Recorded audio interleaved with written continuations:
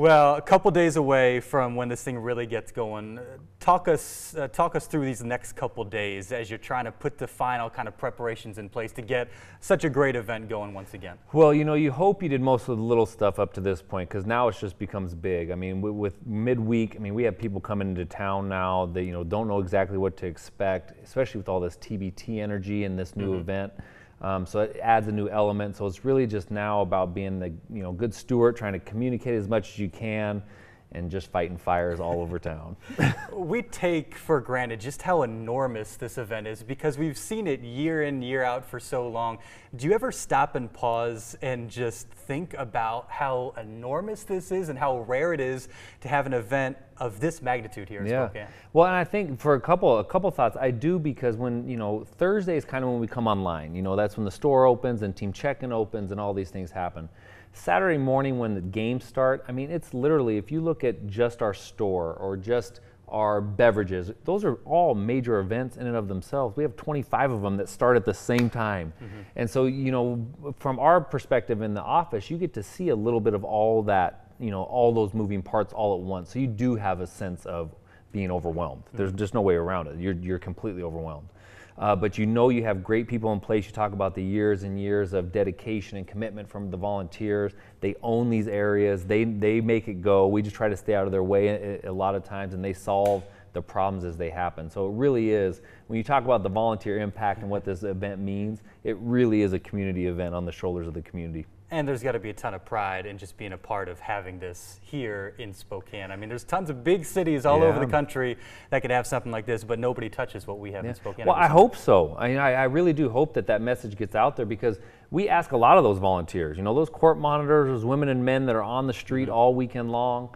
Uh, we, you know, we ask a lot, but you're right. No other community can do this, and there are three on threes all mm-hmm. over the world, you know, and there's none like we have here in Spokane. And it's because of all them. So I, I do hope that that's a sense of pride. And then for us in the office, the ones that are working on it year round, the handful of volunteers that work on it year round, you just hope you're being a good steward. You know, you hope you're living it up to their standard of the ones that are doing the, the heavy lifting on the weekend, uh, and that you're directing this thing in the right way.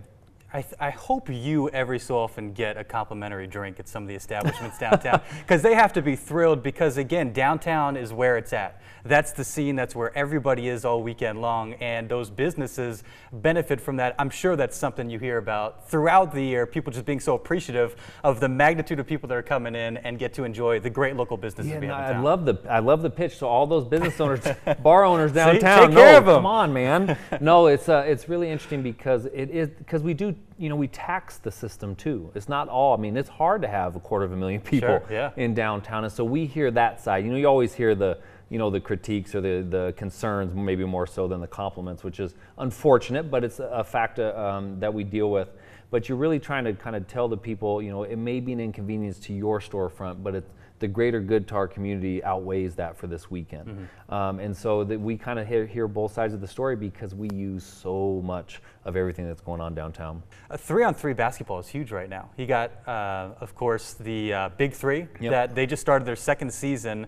And then Tokyo 2020, the Olympics. Yeah. Now, you know you've mentioned that's kind of in your sights having a qualifier as part of Hoopfest. Yeah, it is. We you know we worked really hard this year to try to bring a FIBA uh, event, and it just didn't materialize. Mm-hmm. You know, we didn't get to their their annual calendar quick enough. However, it's a completely different style of three on three. You know, you and I would probably be good. I know Barry Henderson would be great. I mean, just a, a run and gun, fire from deep. Um, it's a 12 second shot clock. So it is a little bit different. But even when you talk about three on three on the global level or the, at the Olympic level, I mean, they still turn to Hoopfest, which yeah, is one of those kind of things you go like, what in the world's happening, you know? And so we work with USA Basketball. We talk with FIBA, the international governing body, uh, to be able to try to highlight it. And you talked about the big three. I mean, there is this idea of three on three basketball kind of creating this great energy. It's kind of for basketball for everyone else. Mm-hmm. You know, NBA and professional, that's a, a, really small niche, right? But everyone can go play three on three. Yeah. And Hoopfest kind of, you know, captures that, and they've uh-huh. done it for the last 29 years. Another event coming up on Friday. Nigel Williams-Goss coming back. Yeah. He's got a clinic Friday morning, correct? What can you tell us about that? Yeah, so Nigel, um, he and I have been talking a little bit throughout the year. Um, he runs a great camp at the end of the mm-hmm. year tied to the hub out in the, um, uh, in the valley towards Liberty Lake. And so he wants to be able to come back. He wanted to help kind of promote and partner with Hoopfest. We said, just come back and run a clinic.